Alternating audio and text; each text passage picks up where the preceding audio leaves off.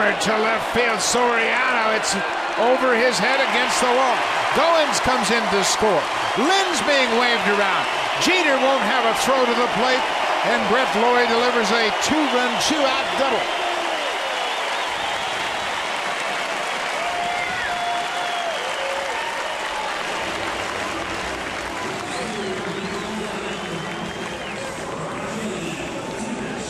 Lind had a good at bat, and Lawrie got a strike and hammered it.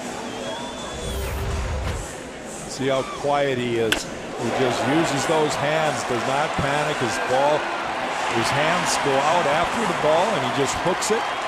Line drive showing his strength. Two RBIs for Brett Lawrie.